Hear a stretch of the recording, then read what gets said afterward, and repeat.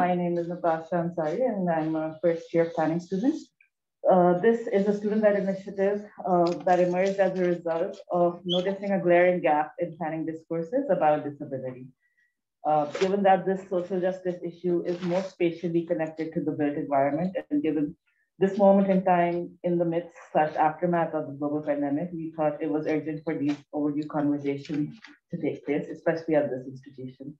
Um, we started out as an independent study this semester with a group of students from the master's and PhD program, but soon realized there was a heavy interest in listening and so thought the speaker series would be an important first step in taking this initiative meaningfully forward. Um, this is the first of, this is the second of five events that continue weekly for the rest of the semester, every Friday from 12.30 to 1.30 p.m. Um, some other goals for this initiative include developing teaching modules and tools on disability, um, potentially setting up a course at the Department on Disability and Planning and implementing new research agendas here with disability in mind. Uh, with that, I would like to hand it back to my co-organizer and fellow MCP, Shannon, to introduce our speaker. Thank you. Um, it is my pleasure to introduce our speaker, Professor Michael Stein, co-founder and executive director of the Harvard Law School Project on Disability and a visiting professor at Harvard Law School since 2005. Dr. Stein is one of the world's leading experts on disability law and policy. He participated in the drafting of the UN Convention on the Rights of Persons with Disabilities, works with disabled people's organizations and NGOs around the world, actively consults with governments on their disability laws and policies, advises an array of UN bodies and national human rights institutions, and has brought landmark disability rights litigation globally. Professor Stein is the recipient of numerous awards and has contributed to over 220 publications and nine edited volumes published worldwide. Dr. Stein earned a JD from Harvard Law School, where he became the first known person with a disability to be a member of the Harvard Law Review and a PhD from Cambridge University. Thank you for joining us. Um, we'd also like to thank Professor Chris Zegras, Professor of Mobility and Urban Planning, and our department head uh, for the Department of Urban Studies and Planning at MIT for facilitating today's conversation.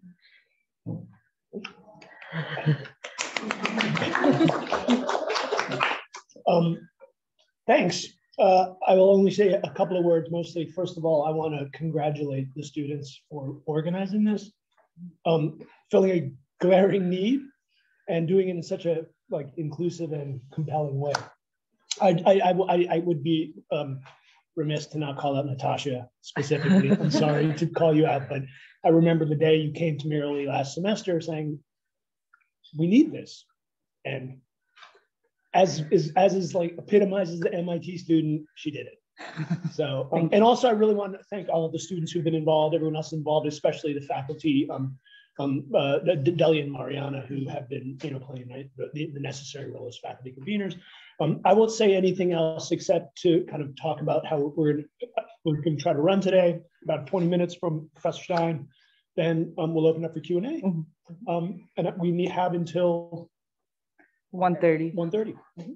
um, so without any further ado, Professor. Well, thank you for this. Um, and it's wonderful to be here. It's my first time actually at MIT, although I've lived up the street for 18 years. Um, and, and hopefully not, not the last for the next 18 years. Um, and congratulations to all of you for coming together and doing this really wonderful initiative. Congratulations to Natasha. Thank you. I have the pleasure of, of having Natasha in my HKS class on disability law and policy. And um, she's been inspiring and also inspired. And, and I hope it continues to, to move forward. Um, and I hope that I can help support you in the future. Um, I was asked to talk about disability and international development. And by development, we mean the other side of the coin of human rights. Although for those who are roughly my age and younger, we see the two of them as inextricably linked and don't view the old days of US on one side and Russia and China on the other side, and it's either one type of right or the other. But when we talk about development, we, we're talking about the ways in which large financial institutions like the World Bank, the Asia Development Bank, the European Development Bank, um, and bilateral, multilateral donors such as USAID, US uh, DFID from the UK, FinAid, AusAid, um, European Union's aid, which is the largest donor organization in the world, um, and so on. try to work towards alleviating poverty, increasing economic development, improving the lives of, as they call it, vulnerable or marginalized populations around the world. So to give you a sense for that, it ranges for everything from building banks in Nigeria to creating a dam in Bolivia to creating employment uh, policies in, in uh, Pacific Islands to um, HIV and AIDS awareness and, and alleviation efforts uh, in, in the Americas. It can cover all those things in different ways. Note that when we describe them, much of those actually sound very much like human rights endeavors. They're just looked at from a, from a different side of view. They're considered more of a not changing the law and changing the way that legal institutions and policies work, but rather providing the physical means by which um, societies are, are improved and increased. And the, the history of disability and development is actually one of exclusion. Um, so the idea that everyone benefits when, when you know, on a high tide, all the boats rise, everyone benefits is a great idea, except for if you're part of the population, either the really, really poor um, or persons with disabilities who very often are disproportionately represented in the really, really poor, um, they stay at the same place. So if we don't include them, everyone else does better, which is good and, and, and laudable. Um, but the equity gap, the quality difference increases, and that's not good. So in the history of, of disability and, and, development, if we were to start, say, the year 2000, we would look and see that the largest endeavor in the world were the Millennium Development Goals, which ran from 20 from 2000 to 2015. Um, there were, you know, eight goals, and each of them related to disability, but not a single one had the D word in it. Um, and none of the targets and none of the indicators had the D word in it either. So try to pull your hair if you like. Um, at that time, they said that uh, of the persons who were living below the dollar day level of, of global poverty, 20% um, were individuals with disabilities, and yet disability didn't appear in any of the programming. Kind of an oversight, right? Um, they said that children in the K to 12 range, as we would put it, who were not in school numbered 70 million around the world, and that one third of those were children with disabilities, but the D word did not appear there. Um, HIV AIDS is another issue where people with disabilities thought to be asexual or uninterested, also excluded from it, and yet the empirical data suggests the population participation is of a level um, and should have been there. Um, and so the, the UN was going about doing, dis, doing development work without including people with disabilities, and they were cautioned at the time. So Nobel Prize winner Amartya Sen up the, up the street um, then president of the World Bank, James Wolfensohn, may rest in peace, wonderful man, actually made public statements that the MDGs will fail unless we include people with disabilities. Well, the MDGs did fail. Um, they did not fail solely because people with disabilities weren't included. There was that 2008 financial turn that, that the globe experienced, precipitated by lending and other very bad practices here in, in the US and elsewhere. Um, but the MDGs didn't work. Their successors, the Sustainable Development Goals, which are part of the UN's 2030 agenda running from 2015 to 2030, are a very different story. Disability is featured, you know, 17 times, both seven particular mentions, especially uh, SDG 4, which is about education, and they're also included among vulnerable populations in other parts of, of the SDGs. So just giving you a big overview from UN programming, what we've seen is this shift from total exclusion, not looking at it. And if you speak to economists, they'll tell you the old phrase, you're not counted unless you are counted. So unless we have the data about you, unless we include you, you're not there. To a world in which disability is expected to be included, although again, it's not as complete, as inclusive as we might like. It would be nice if vulnerable populations were spelled out across the board. It would be nice if we had more disaggregation of data, disaggregation of identity statuses, but disability is considered part and expected to be part of, of the programming. And there's this whole world going on at the moment of data collection and, and data entrepreneurship that, that we can discuss. To put this into a, into a different context, Um, let's point a finger at USAID, U.S. Agency for International Development, um, because it's always better to be to be polite and point to oneself and one's own country rather than point the finger abroad. So in 1997, USAID came out with a white paper policy that said we're going to include disability in our development endeavors. When we give money to build dams in, in Botswana, when we have employment programs here, when we have um, clean water and sanitation programs in, in Nigeria and so on. Um, but it's not an enforceable policy.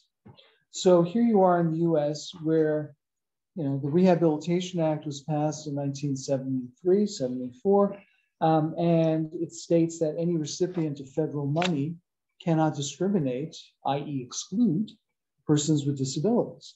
And yet the US State Department has always taken the position that the Rehabilitation Act and other civil rights acts are not extraterritorial.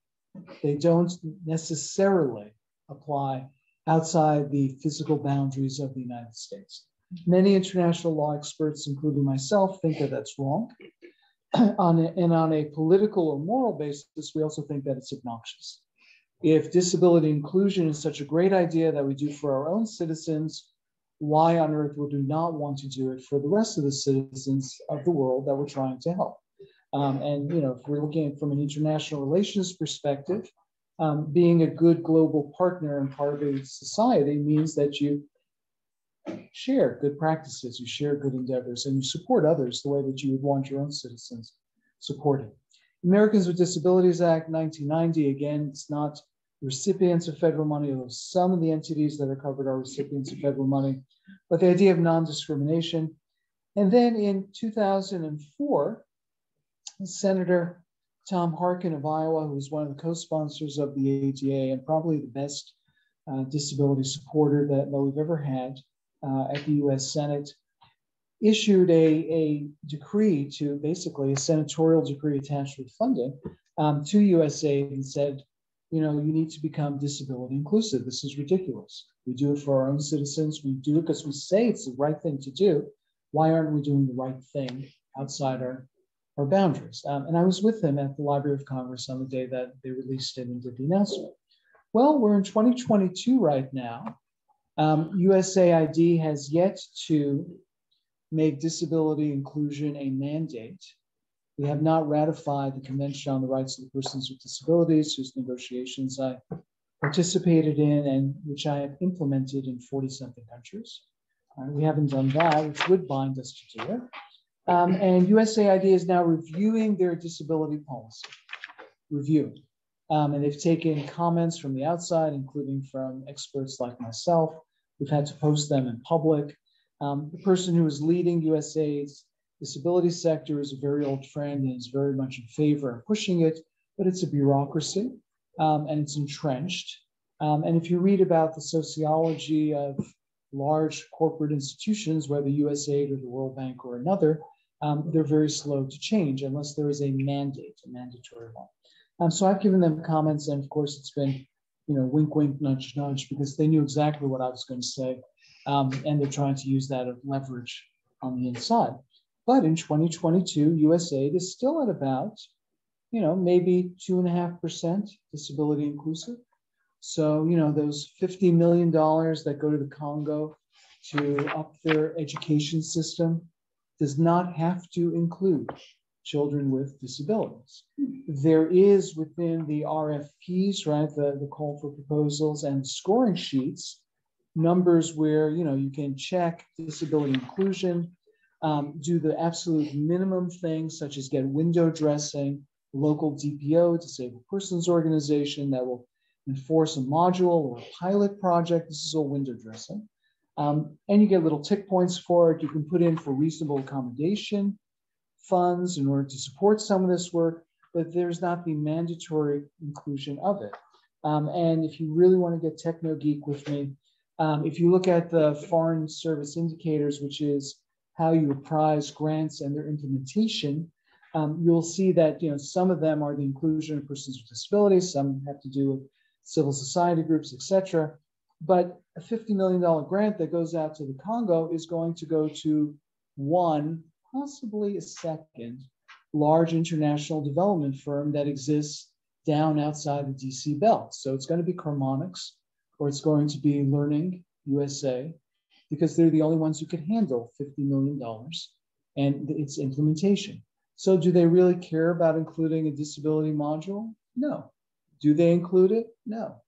Um, the USAID also has a encouraged internal training session on disability. And I've given some of those training sessions. And usually it's myself, the person who's organizing it, and maybe two people. And so I've stopped doing those because I don't find them very useful. Um, and let me put it even more concretely with two classic stories. Um, one is USAID goes down to Jamaica to work targeting, right? Targeting to work with the deaf community. And they bring an ASL translator, American Sign Language. Only one problem. right. ASL and Jamaican Sign Language are not the same. Right? It's not, it's not the cool thing of Braille where no matter what language you speak, otherwise you can all read in Braille and communicate with each other. It's not a universal translator. It's not Ladino. It's not, you know, Esperanto. It's not, it's nothing like that.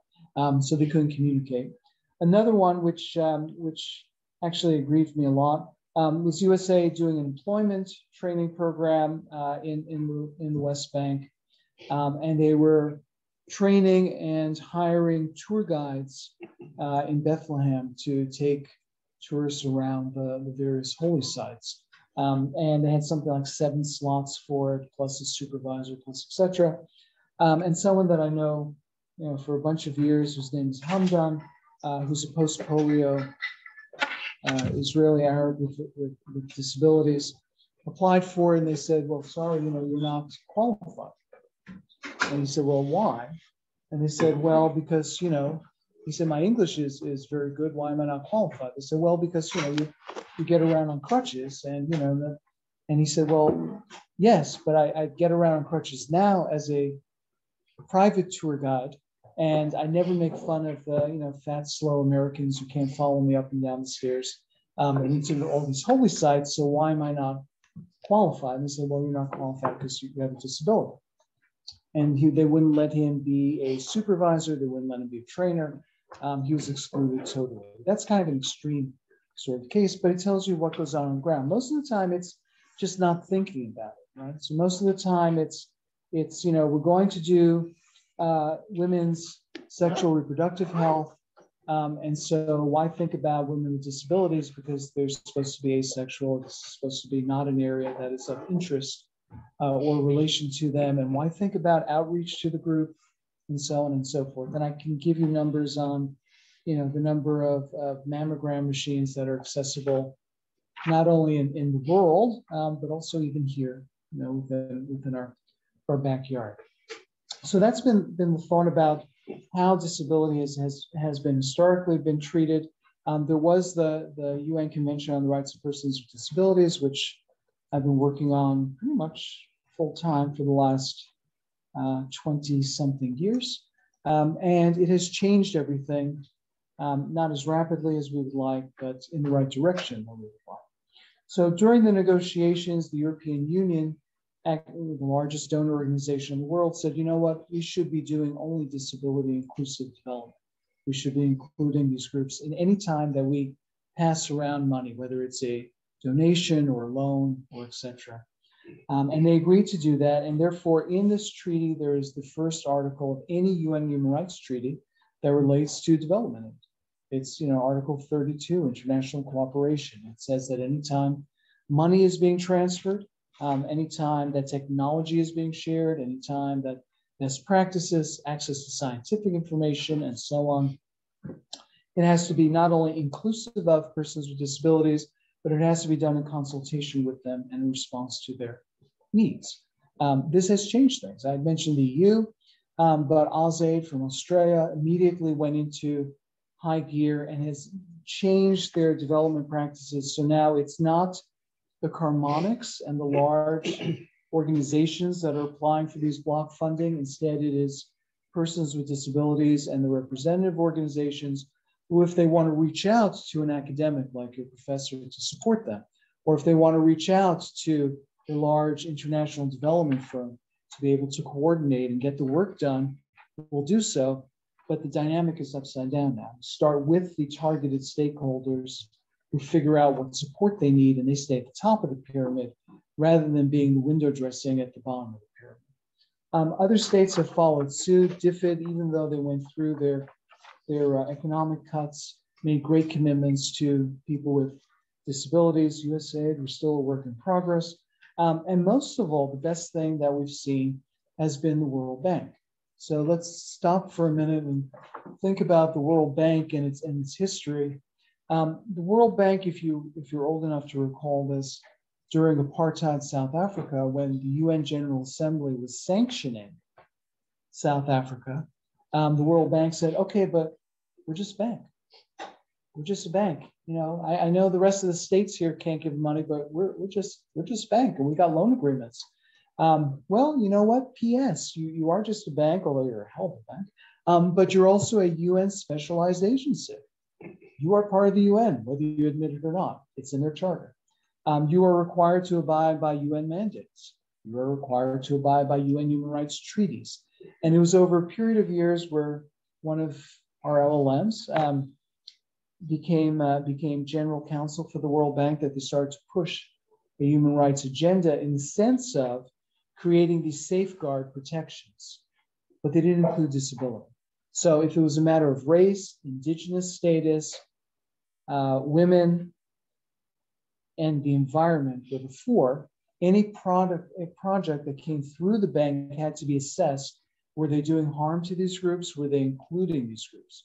Which is not to say that that nearly $200 billion a year is doing it as well as it can do it, but there's at least a consciousness and a mandate to review things. Disability was not part of it. During the CRPD negotiations, we talked about this, and the World Bank again was, you know, was not committing to it. But fortunately, the representative of the World Bank at that time and at the UN was Judy Heumann. So, you know, mother of the American Disability Rights Movement, independent living movement, very, very old friend person from Brooklyn, so she had chutzpah, actually talked about right how we had to include the World Bank. And then another old friend, Charlotte McClain-Nhlapo, whose background is Human Rights Commissioner of South Africa. Um, at one point was the was Obama's point person in USAID on disability. Um, she has now taken over the World Bank, and over the last six years or so, we've all worked together, even under the shadow of the Orange Monster, to get the World Bank to move towards including disability in these environmental statements and have committed to. So they've got deadlines that to me are a little bit too far out there, right? It's 2030, um, which aligns with, uh, with uh, the Sustainable Development Goals. Although some of the earlier ones are before that, they've got 10 commitments on including disability. What does it mean? It means that in the same way that the best thing for the Americans with Disabilities Act has not been the non-discrimination provisions.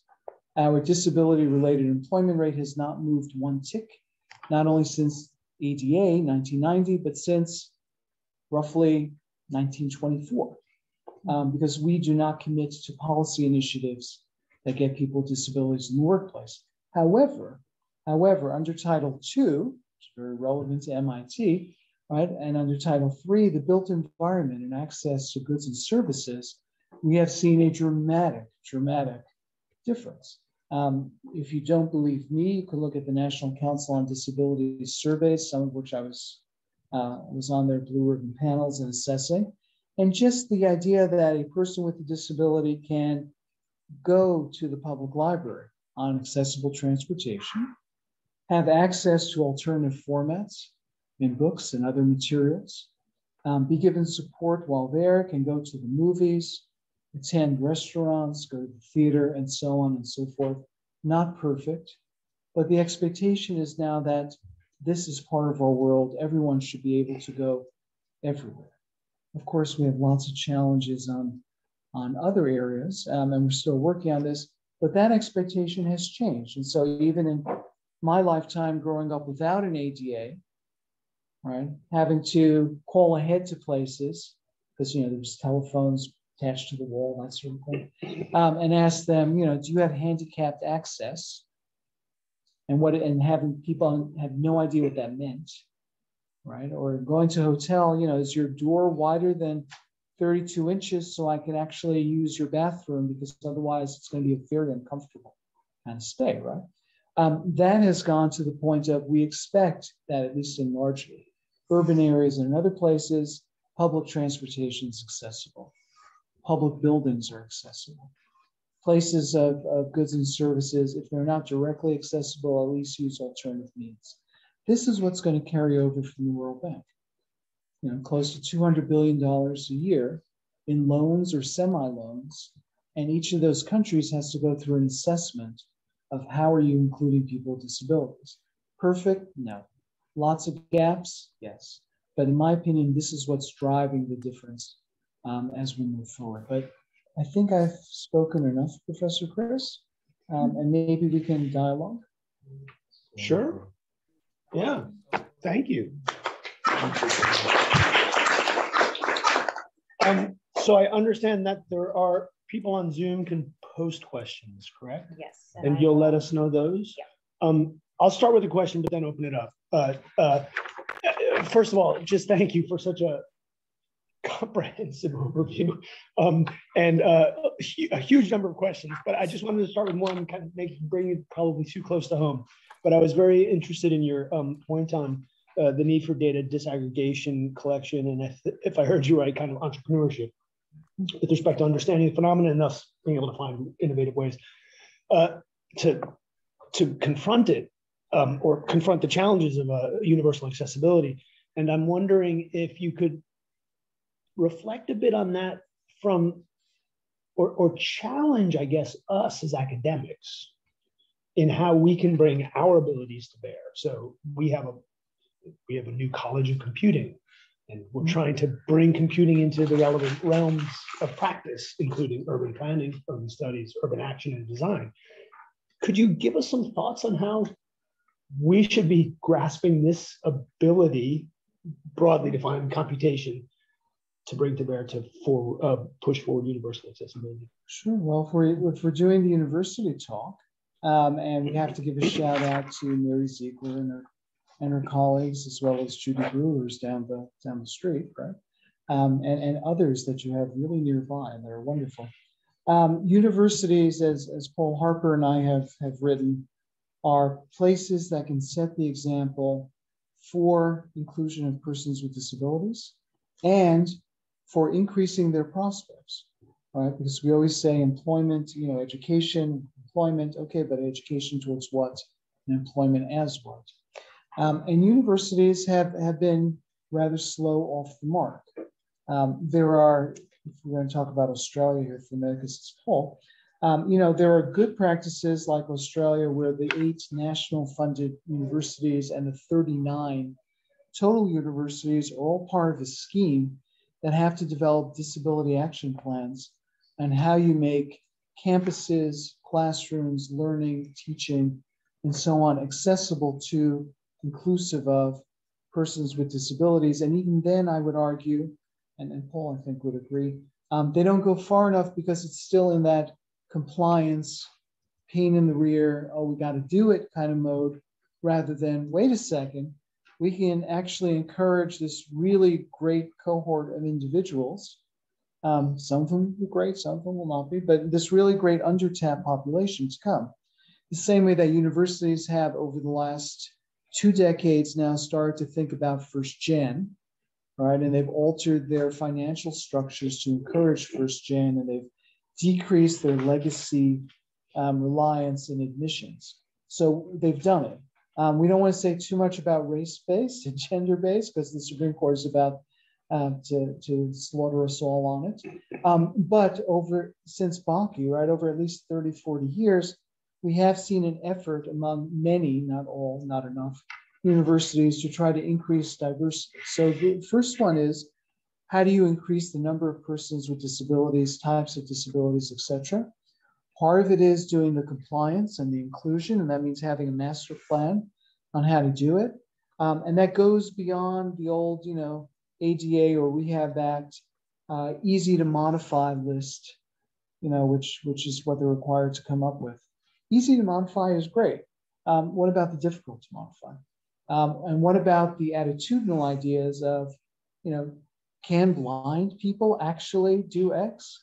Can people in wheelchairs actually do yes? And the answer is hell yes. Why not, right? Um, you know, I have, I have a friend who's an African American, Arab, Muslim, blind data scientist with a PhD in physics. Physics, as in, in, in her head, she sees these things and puts them together. You know, why not? Right? Why not? So one is one is that.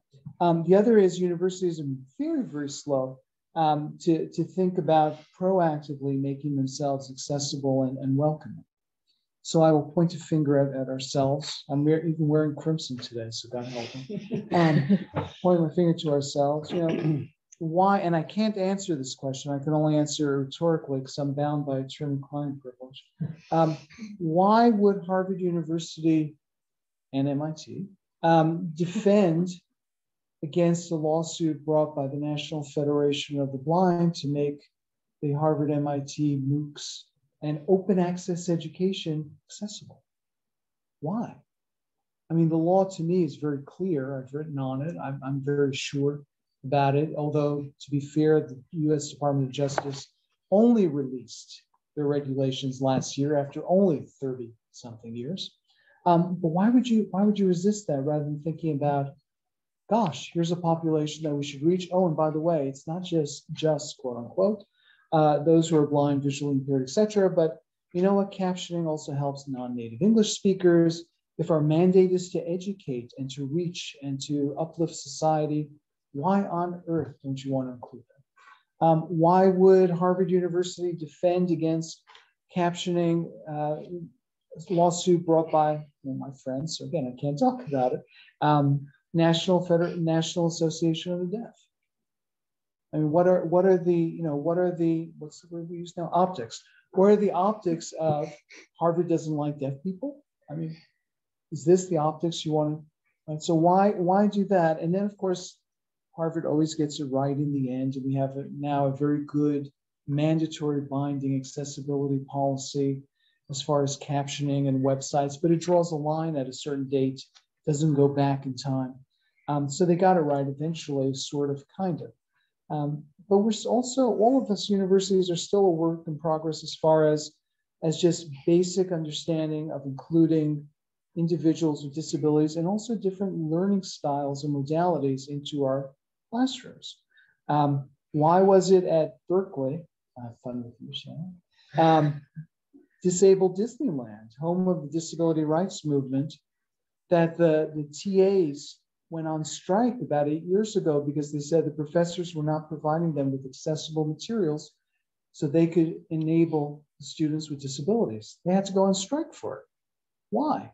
Right? Why is it that the same place, Berkeley, disabled Disneyland, right? Um, they actually said, you know what?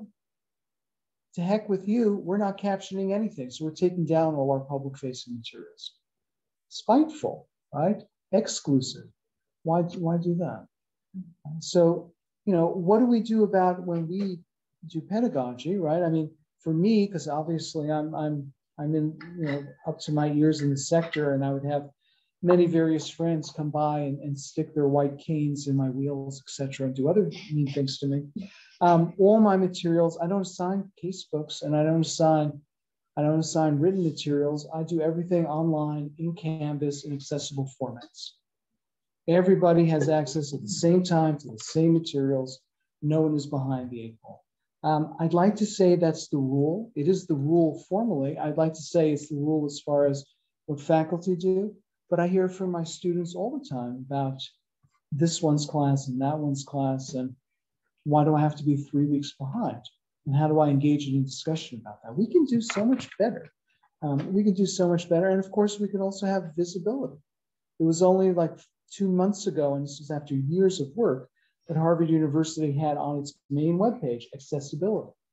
Now, I, I don't say I like it because they put my horrible picture on it, but I like it because it wasn't just pain in the rear, have to make ramps, have to have toilets or grab bars. It was about welcoming people, including people, and understand that the background of that was, you know, a pulse survey, you know, blasted across the entire university. We care about you. We want to hear about your experiences. We want to support you, enable you, and nothing about disability. Nothing. But it's it's not happening. I have blind friends at Harvard who are being, you know, freshmen in their dorms who can't do laundry. They're not. There's nobody for them to report to. The data backing. Sorry, I teach assistive technology here. I have for a very long time. I love this topic. I'm an advocate, but I'm also kind of a realist, and I face constant struggles with trying to do things. Which is there's a difference between saying yes, we want it, and we know how to actually implement it. And that's the sort of computing, how do we report up these issues so they can be addressed? Right now, it's by force of will. I go in there and I bang on doors and I say, why did my student who's a freshman here have to go and, you know, beg their classmates to help them do laundry? How how much of an extra emotional burden are you going to place and whose job is it to actually address this mm-hmm. becomes one of the hardest parts. And, and defending against, against lawsuits helps us have that discussion.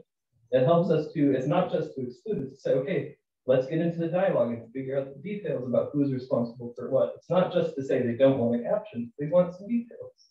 Right. No, I'm, I'm not exactly against those cases. They're my friends. No, no, I know, I know, I'm sorry, my, my tone is Um, more intense than But, uh, needed to be. but, uh, no, and it, and it should be, right? I mean, it should be. It's twenty twenty-two and, you know, as one of the very few visibly disabled persons on, on faculty anywhere in my university, I'm the one that, you know, I'm the faculty advisor for the undergrads because they have nobody else. I'm the one that the students come to and complain about, and I hear you and I agree with you. Um, but I think we are moving slowly, but in the right. I I agree with progress, I'm sorry, I didn't mean to, to make it sound like I was not And, and thinking I'm, we're moving in a good direction. and I'm not an apologist for, you know, for, for the university. Um, but if we're talking about computer design, right? Um, there's an issue there too, which is, you know, how much do we teach? I don't mean here at MIT, but how much do we teach across the board? Schools of design, both computer, physical, architecture, etc., about compliance and not just compliance, but also how to create welcoming spaces. Right? And the answer to that is not very much, just as the answer to how much do we do in medical schools about having something beyond two hours during vulnerable population day about treating disability when it's even given variety of variation, et cetera, 20% or so of the population. From a public health point of view, if you're not serving 2% or 3% of the population, up goes the red flag and the alarm bells. So where's the red flag and the alarm bells? right? So I agree. I'm Um. Forgive my excitement. Forgive your excitement. I encourage your excitement. Thank your excitement. My, my graduate student intern from Harvard is sitting right up there, and I think would love to have a conversation at some point, so we'll talk. Thank you so much. Uh, yes, Can I ask a question? please. Yeah. First, of- first of all, thank you so much for the question. You know, I had a previous talk with the assistant director of digital accessibility service of Harvard. And uh, after this case, they set up the, a team directly to work for those students and also work for outside the university, you know, have improvement as well. But they do do change a lot. Yeah, so I definitely think there's some progress, but we need time to make it up. And and I'm so glad for we talk about digital accessibility because I'm very curious about one thing. Uh, you also mentioned a lot about ADA. I'm thinking question is that under the pandemic, um, as we all know, digital accessibility is more and more important, like globally, all over the world, uh, for people with disabilities. However, current law and statutes such as US ADA Title 3, 2 and Title 3 have a vague definition to a place, not only US, but also many places. Um, so which sometimes render digital accessibility to be hard to make more progress. Um, so not to mention globally, so I wonder like what would be a good solution for current statutes, advance and solve this problem and how to help the world to really re- like realize this problem. Okay, Yeah. that's, that's a great question. And people who actually want to see really interesting nuance and defined data about digital accessibility around the world, including the 80% that's the developing world, um, can go and look at the DARE index, D-A-R-E, just published by the UN G3 ICT, which actually does that every few years. And it's very nuanced, right? So there are you know, there are parts of Colombia that are more wired than say, you know, outside of Richmond, Virginia? Um, and it's not uniform in any way. But the answer to, to you, Jingwei, is actually a pretty simple one. And that is, you know, just down the street, we have, you know, our, our good friend Judy Brewer, who runs the World Wide Web Initiative, and they have the WCAG 2 guidelines. They're, you know, they're fairly simple to implement. They're fairly straightforward. They are not subject to really cultural differences and, and difficulties. Um, and there have been many places that have said, you know what, let's use the, the WCAG 2 or even the one as the standard for it. Um, and in the US Department of Justice's guidelines, quote unquote, that took them 30 something years to pass, they basically say, oh, by the way, we're not telling you exactly how to do accessibility, but you would find that this WCAG 2 thing actually covers it. So it's sort of, it was a good thing after 30 years, way too late. It was also a little bit of a cop out, but at least we have something there. Natasha. Um, you have been responsible for creating a disability focus at the Kennedy School and institutionalized a regularly offered class. Um, could you talk a bit about your journey with that, your successes and challenges? Ooh, in a way that will, that will not get me into trouble. uh, well, uh, I, I, came back to, to Harvard in, in December of 2003. I still had a chair, tenure chair elsewhere, um, but I was on grants and other things and, and so on. And I've never left and, and you know, won't get rid of me. Um, and early on, I went to uh, speak to my next door neighbor, um, who was the vice dean at the Kennedy School. Um, and I said, you know, what can we do to encourage HKS to have more or have something on disability? Um, and he said, oh, um, you know Ron Cass over at BU Law School, the dean? I said, yeah, I know Ron. He said, I'm sure they'd love to have a course there. This is called NIMBY, right? Not in my backyard. And I said, I'm sure they would. Um, but what, and I'm not asking to teach here, but what is it that can be done to encourage something, awareness, inclusion, something here? And he said, you know, Ron Cass, that's, that's guy. Um, that was in 2004. That was the last time I, I talked to Fred Schauer. Now, uh, you know, real big shot, big academic name.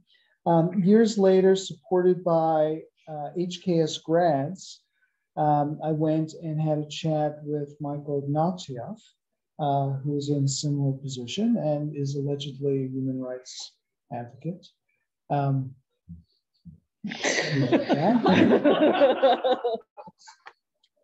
um, and you know, and I said, you know, what can we do to have disability? And he said, well, why would that be important to HKS? Not in a mean way, but in an open way. And I said, well, disability related funding and costs are the largest US government expenditure. Um, they also tend to be among the highest government expenditures for OECD and other Western uh, countries and, and, some others. Um, and it's, you know, almost 20% of the, of the US population. Um, and it's a cross-cutting issue and it really makes for interesting policy analysis as, as I hope those who take the disability law and policy class at HKS agree. Uh, I hope it makes for interesting policy analysis. Um, shouldn't we be doing that? And he said, well, you know, but you know, but we, we, there there are more women than disabled persons. I said, yes, there are group overlaps. He said, in that case, we'd have to actually have courses on women and policy. oh my God. oh my word. Um, and I said, yes. And he said, well, um, he said, let's discuss it over the summer. Um, and then I, I, somehow my multiple emails and telephone calls managed not to be answered. And then he went off and killed the Liberal Party in Canada, went on to other greater things um, as well. Um, I started teaching at, at HKS with my with my very dear, wonderful friend, uh, Charlie Clements, um, who was was heading up the Carr Center, um, who was a Vietnam vet protester, Quaker who helped form the, you know, the, the Universal Mission, one of the creators of Physicians for Human Rights. Um, and, and other things, shared in the, in the Nobel Prize for the Landmine Convention. Just a wonderful, wonderful human being. Um, and he was just outraged that there was nothing on disability. Um, so he said, you know, we approached HKS and said, we teach, can, can I teach disability? And you've got the global expert. I mean, not to put too big a spin on it. And they said, well, no, um, not, not of interest. Um, we said, okay, well, how about if we jointly teach social movements, human rights and social movements? Because uh, Charlie had been involved in the FDA releasing HIV drugs and Pueblo Indians land battles and other things. Um, and so he and I taught human rights and social movements for a bunch of years together, which was a great privilege. He's a beautiful, beautiful human being. Um, and then he retired, and HKS said, Well, would you like to continue the course? And I said, Thanks, no, I'd like to teach what I'm known for. Um, and no offense, but I'll put my reputation in this area against anyone else on your faculty in their area and it doesn't make sense to me why I should be teaching. Um, and they said, okay. Um, and so I've been teaching that since. Um, HKS is an interesting place.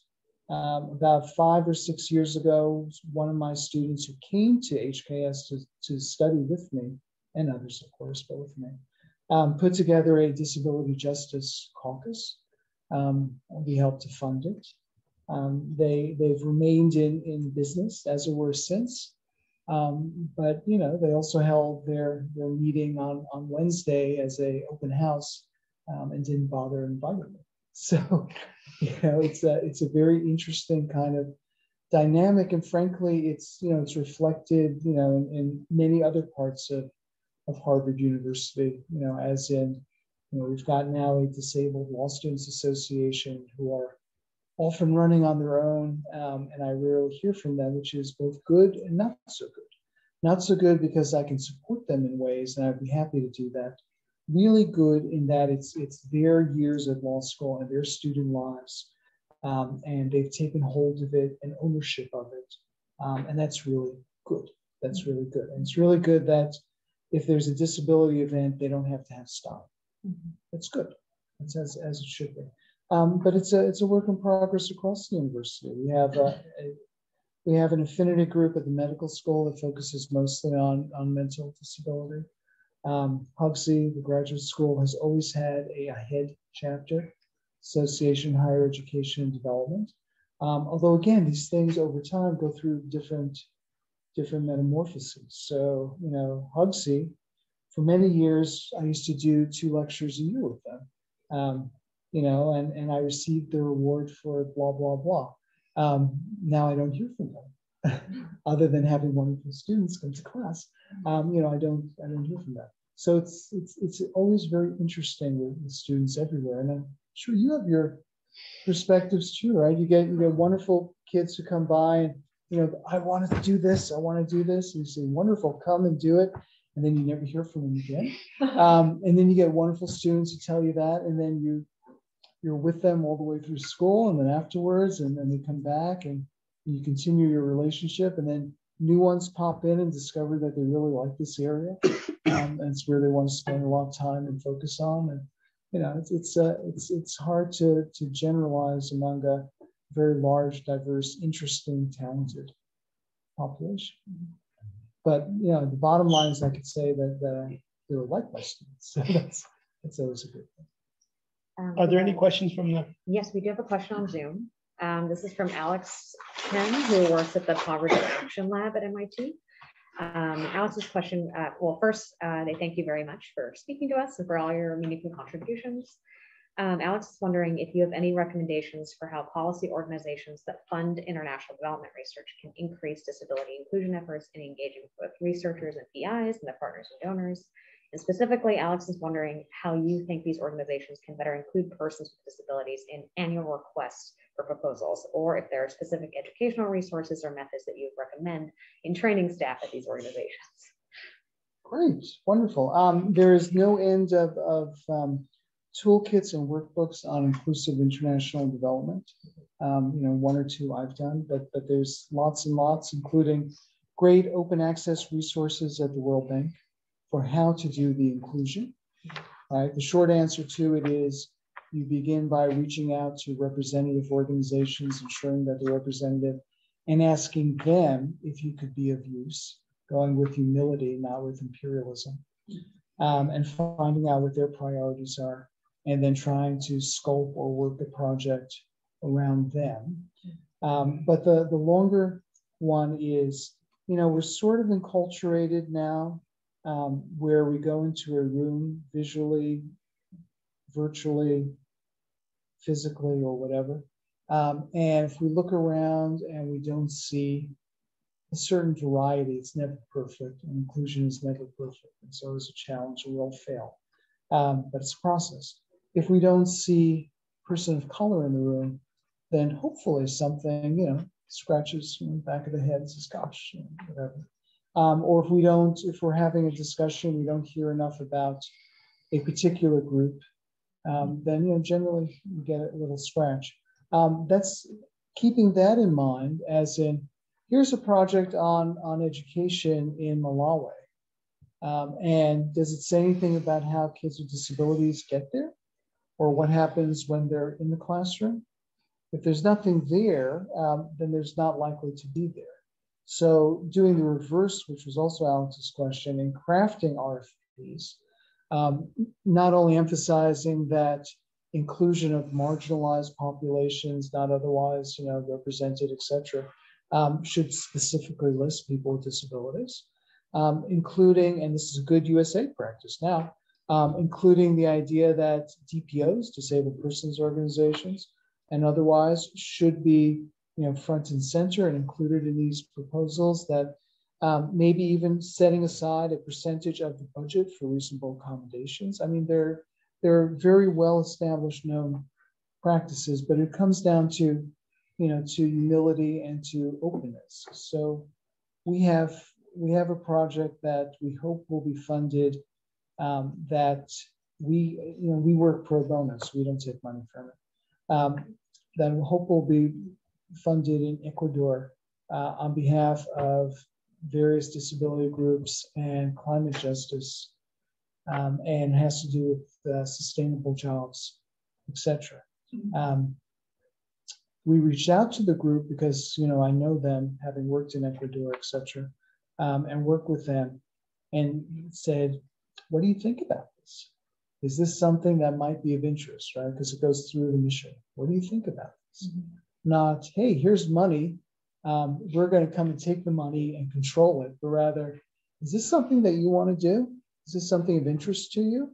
Um, and if so, let's let's talk about it and figure out how you're the ones who receive the money, and we're here to support you if you want it, um, and help you think through it, and help you do that. So turning around the turning around the hierarchy is also really important and a challenge. Can I ask a challenge question for that? Great, please. Um, I like you. You're good. Oh, we, we, we have conversations to have. We have. I'm not going to dump them all at once, but so NGOs, um, nonprofits that are meant to help people with disabilities, often end up infantilizing and protecting? And how does one evaluate the NGOs that are incentivized mostly to keep themselves fed, not to mm-hmm. actually serve, because we mm-hmm. don't have proper metrics on whether or not they're serving? Mm-hmm. And and this is because I, I also, for context, travel around the world and do like assistive technology development on the ground with individuals. And the, the variety of value that you get out of certain NGOs and the way that they will treat and engage is is you know, I'm, I'm, sure you know there's a lot of subtlety to how you evaluate and partner with NGOs, and then how that ends up trickling down to the individuals who are, you know, now you're going to the head of some unit and you're saying, here's some money, is this of interest to you? They have their own priorities in the same way that, you know, I've been told very explicitly, giving me PI status at MIT is not a priority because they have bigger things to deal with. Fine, I understand, but on the ground, there's a lot of people who have very different opinions about what they would like the world to look like. So it becomes a bit tricky when you work through the nodes of the NGOs to actually affect individuals, I think. at least for me. And I was just wondering if you experienced anything like that and found ways to navigate it. Oh, absolutely. Um, and, and by the way, accessible technology in the developing world, Stein and Lazar, OUP. I'm sorry, I can't hear. Stein and Lazar, OUP 2021.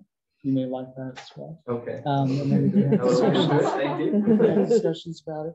Um, the short answer is that nearly all DPOs are NGOs. Nearly no NGOs are DPOs. Um, and so we always, and, and those of us in the disability rights movement always focus on the DPOs, not on the NGOs. Can, can you help us understand more of the distinction? Because I think I have, So DPOs are organizations created by persons with disabilities for persons with disabilities. NGOs like Amnesty International, which still doesn't have a disability policy, still does not have it. Um, they tried to write one because my friend Janet is now the chair in disability rights advocate right here in the US. Um, and, you know, and, and when they asked for comments, I basically shredded them um, on things like, what do you mean disability is too complex? Women are all univocal. They're all the same. what do you mean? You know, what do you mean? Um, are you really saying this in 20, whatever year was, 2020? Um, only behind closed doors. Right. So, you know, Amnesty does not have as on its agenda to empower people with disabilities. Um, and if they happen to stumble upon something that helps people with disabilities, they're not averse to it, but that's not where they're going. Um, Is it, is a DPO a, a legal distinction or is it, how do you, how do you vet and understand? it's by people with disabilities for people with disabilities. So it's not even the large service provision things like Handicap International, which is now Humanity and Inclusion, or Christoffel Blinden Mission, CBM, um, which is now doing lots of disability empowerment. It means it's things like action on disability and development in Bangladesh. It means it's, you know, the organizations that begin with sweat equity and people with disabilities coming together and working with each other and care about doing the job for people with disabilities. The NGOs, you know, your point is, is extraordinarily well taken, right? You have to, they're, they're not there to work for people with disabilities. Human Rights Watch, and I've got lots of friends and I do trainings for Human Rights Watch, um, did not do any disability work until, until the CRPD was passed. And then Aryeh Neier said to George Soros, okay, give them some money and they'll create a disability division, which is now headed by my former intern. So $12 million made that, made that happen a couple of years ago. Um, Amnesty used to go into the, into the psychiatric hospitals. And on one side, you'd have the political prisoners. On the other side, you'd have people with psychosocial disabilities. And they were both held in the same conditions, right? Restraints, electroshock therapy, you know, isolation, etc. And Amnesty would report on the political prisoners, which is good, and totally ignore the ones on this side. Um, and that's why Neier and Soros then created Human Rights Watch that looked into disability, and then they created OSI, which focused on that, that population, then they created OSF. Um, and it's a and it's a huge problem. You're exactly right. It's a huge problem. And I'll and I'll even give you nuance to your problem. There are there are groups that claim to be DPOs, Right. right? Um, that basically exist in order to serve themselves and or act as a conduit for various governments to the disability sector as service providers, and in doing so, serve themselves. So NAFOD in Bangladesh, um, the, the national group in Vietnam, um, even this, even the CDPF in China, right, are made up primarily of non-disabled people on salaries from the government, charged to speak for people with disabilities. And, you know, and those organizations, especially CDPF, which is a very large animal, tend to have nuance in them because there are some amazingly good disability rights advocates with and without disabilities within them. But by and large, that's not what they're what they're really doing. And they're a, they're a problem. But that's the power of policy. That's, that, I mean, I'm an engineer, I can, I can write code, I can build you an, an international database, I'm working on giant auditing processes. I can't get the policy changes in place that empower the money to trickle down to the right places, because I'm watching the, the money flow down into organizations like that before it ever reaches, you know, the tiniest little fraction gets to the bottom. Right, and if you want to add even more nuance or depression to, to things, um, there is an addition in the DPO community, just as there is in the international NGO community, a problem of elitism and celebrity, Mm, right? mm. elitism in that, you know, if you want to get X group, if you want a group that's going to be working in Niger, then you go towards this group because everyone knows that's who does it. Mhm. And everyone knows within the group that this is the individual to invite. Whereas the really, really interesting, innovative, iconoclastic work is being done with sweat equity by the groups themselves, which by the way also include parents and siblings and other allies and, and supporters. yeah. Um, so that's that's a problem. And then celebrity, right? We I could tell you if you're going to invite someone from Africa or, or whatever, give me a country and I could tell you who is the person who's most well known there and who's going to get invited to to stuff. And by the way, it's here too, right? So when the Massachusetts legislature wanted to talk about supported decision making, right? They called up Chris Griffin, who was then the head of the Disability Law Center. They called me and they said, Will you come and testify for us? And we said, No way. You get the people with intellectual disabilities whose lives are on the line to come and talk to you. And then maybe afterwards we'll give you some opinions and, and support it. But no way are we going and talking on their behalf. Right. But but Chris is, you know, wonderful and incredible and, and you know, I wish I could help. Um, that's a problem. A lot of people show up, especially if there's if there's money attached. They're trying to build a tree. So I just wanted to hold for a second, check in on um our timing, because I understand we're supposed to end at 1:30. I don't want to cut off the conversation, but I also want to recognize that others might have places to go. Thank you, thank you. Um, I'm gonna harass him for years, don't worry. I hope you do. But I don't also want to exclude, are there any other questions on the Zoom that we, Um, yes, we, we did, we have someone who'd like to make a comment. Um, she's actually part of the Disability Justice Caucus and ran the event on Wednesday. Um, so Priscilla would like to make a comment. Hi there, Um, everyone. Hi there. Can I be heard? I just want to check that I'm being Yes. picked up. Hi there. So my name is Priscilla Menzer, and um, I'm the one of the co-chairs of the the DJC. And um, I just wanted to um, respond, Professor Stein, to your comments, just because the last thing that the DJC would want would be the impression that we somehow um, neglected to invite you, and that's something that we regret. Um, I think it's really important to probably highlight at this point that there's a really disparate culture around disability at HKS. And so I can't pretend to, um, I can't say that I knew of the faculty or professors at the Harvard Kennedy School upon arriving as a blind student um, who were active in this space and were still doing that work. And so the last thing we want to do is to give the impression that somehow we're not willing to work with academics who have been doing the work for a long time. And Professor Stein, we recognize that. And, you know, I regret that um, a personal invite did not go out to you. Um, I think that there's work for us to probably do to try and make sure that we're reaching out to all uh, academics who are not only disabled, but are allies and keen to work in this space. But that's work we have to do. And right now, as disabled students, we're just trying to actually get, you know, together. And that's been extremely hard work. And so just mm. to say and to hold space for that because the last thing I'd want to do is to give the impression this was some sort of personal slight. So thank you for holding space for that. It's not a personal slight. I am I am of service to all the students across the university and to a whole bunch of them at MIT and BU and BC and other places as well. And I'm always happy to support you, but um, might not have been the, the most optimal way of moving forward. um, You wanted to- Um, yeah, but I, I'll respect others' times.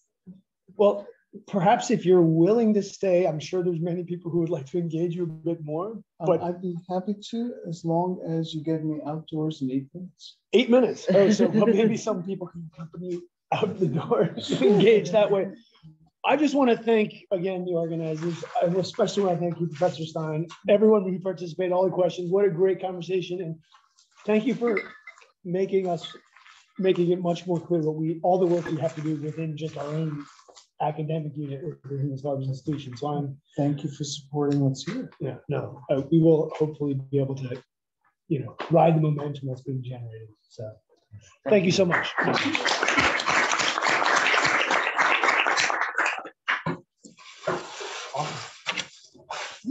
Um, I don't want.